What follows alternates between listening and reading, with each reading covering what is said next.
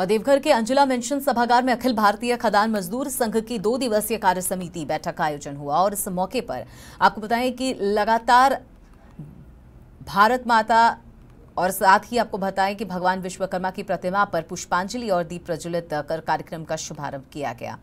और इस दौरान कोयला वे, वेतन समझौता लागू करने की मांग की गई है और इस मौके पर अखिल भारतीय खदान मजदूर संघ के कार्यकारी अध्यक्ष ने दो दिनों के कार्यक्रम के बारे में विस्तार से मीडिया को बताया।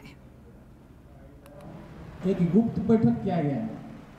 गुप्त बैठक वो हमारा जहाँ मीटिंग हो रहा था उसका बगल में जो इसमें हमारा जो कार्य समिति है इसमें पिछले बैठक का वृत्त पढ़ा जाता है उसका अनुमोदन कराया जाता है। पिछले वित्त वृत्त का जो है कोष कोष वृत्त का इसमें जो है रखा जाता है। और कोष वृत्त को पास कराया जाता है कार्य समिति से। साथ ही साथ हमारी जहाँ जहाँ नई नई कार्यकारिणी बनी है रजिस्टर्ड यूनियनों की, उनकी रिपोर्टिंग ली गई है। और इसमें जो है संगठनात्मक विषय पर चर्चा होती है। कोयला उद्योग का भी ज्वलन सदस्य समस्या है कि हमारे कोल इंडस्ट्री के मजदूरों का वेतन समझौता ग्यारह लंबित है।